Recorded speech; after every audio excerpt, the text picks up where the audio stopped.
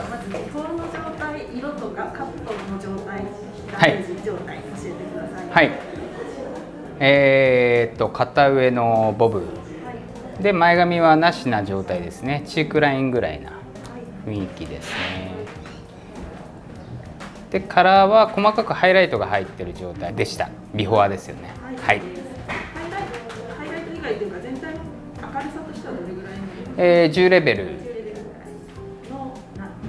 えー、まあブラウンビフォアはブラウンですか10レね。はい。はい、ありがとうございます。じゃあそこからあのベッドの状態とドライの状態でそれぞれカットされたと思うんですが、はい。流れをちょっと割と詳しく教えて。わかりました、はい、えーっとボブのベースは変えずに量感調整、えーをしてます。あとは再度アウトラインをもう一度切り直してラインが綺麗に出るように切ってます、えー前髪もほぼ変えずに量感だけ、えー取ってる感じですかね。その量感を調整したっていうのは元が結構量がもう上元も多いですし、えーっとバックのボンのくぼ下はちょっと広がりやすかったりするので、まあ、今回ちょっとコンパクトな感じのデザインを作りたかったのでちょっとタイトめになるように切ってますね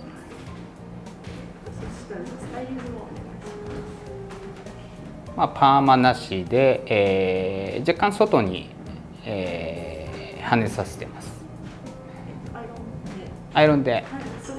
ストレートアイロンで。大丈夫です。で後に、えーっとグロスオイルですかね。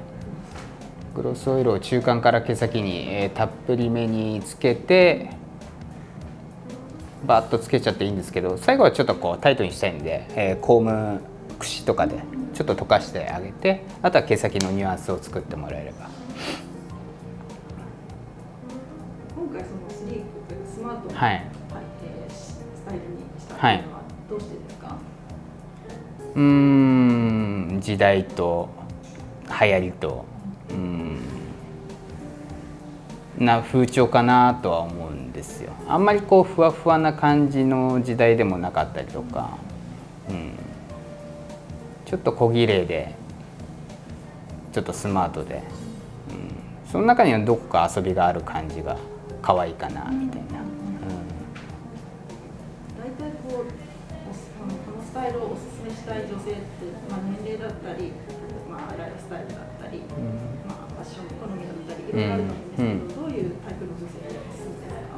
ぱりちょっと普通のボブに飽きてというかちょっとやっぱりおしゃれもこう楽しんでる方というか感度が高い方とか。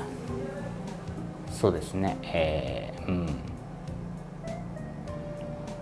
そうですね。おしゃれなおしゃれしたい方が結構いいんじゃないですかね。年齢的には特にこの年代っていうのはありますか？うん、特に、うん、年齢はもうやりたかったら全然別にそんな似合わないスタイルでもないと思うので。あもう20代の学生さんお嫁さんあもちろんです。30代女性そうですね。はい。まあ自分でこのスタイルを上手にキープしていくのにコツというか何かアドバイスってありますか？うーん。ホームケアさえしてもらえれば割と別にパーマかけてるわけでもないので、うん、ホームケア乾かす前のオイルとか乾かした後の、えーオイルとか、うん、っていうことをしてもらえればストレートでもまあ髪が傷んでないコンディションに持ってってもらえれば、まあ綺麗にはまるかなと思うので。ありがとうございますありがとうございました。ありがとうございました。